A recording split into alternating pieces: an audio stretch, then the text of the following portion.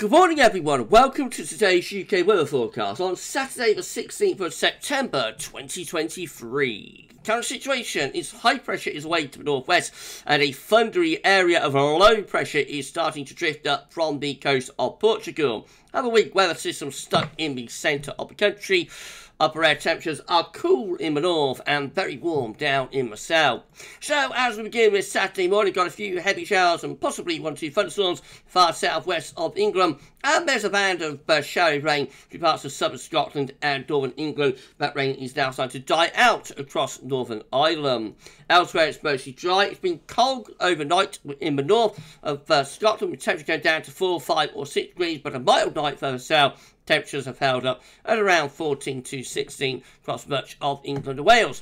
Through the rest of today, the spongy low is going to start getting closer to the south. So you'll find that band of rain across uh, northern England and southern Scotland gradually fizzing out. And those showers down in the southwest should ease off for a time as well. So most places will become dry, but a few heavy showers could break out across East Anglia, will be very hit and miss in nature.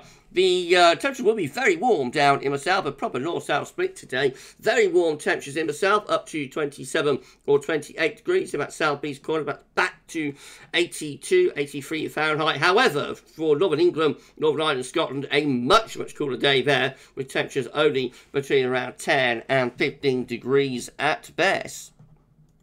Overnight tonight, that funky low will start drifting uh, northwards, so we're going to find after a mostly dry evening, showers will start to develop down in the south and in the southwest too, and some of those could be quite heavy across parts of southwest England and also into Ireland. Many places will stay dry though overnight with clear spells and variable cloud. It'll be a very warm night in the south, temperatures holding up at around 17 or 18 degrees cold, but Scotland though there could be a touch of ground frost in the Scottish Glens.